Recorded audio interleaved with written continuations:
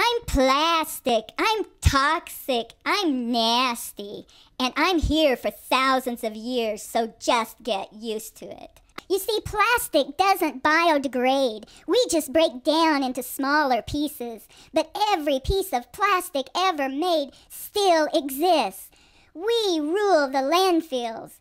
We got toxins in the air, and we are taking over the oceans. Technology and capitalism doesn't take responsibility for what they make and what you as consumers throw away, absorb, or ingest. You store your food and water in us. Put us in your babies' mouths.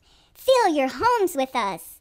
Even though we outgas toxins that can kill you, we have conquered the bottom of the food chain.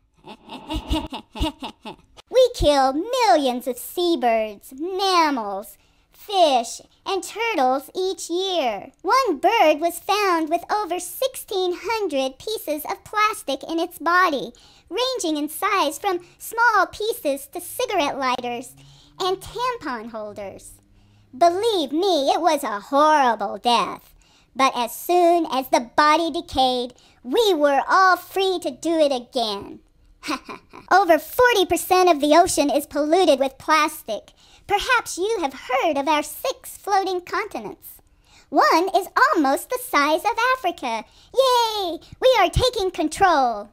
You see, particles of me keep breaking down to the size of plankton.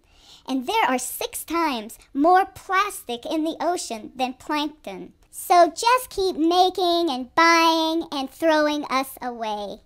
A hundred thousand years from now, some being from another planet may visit here and find a line of plastic embedded between layers of rock. What happened to those people, they may ask. Well, they made plastic. They ate plastic. They died. plastic rules. Ha ha ha ha.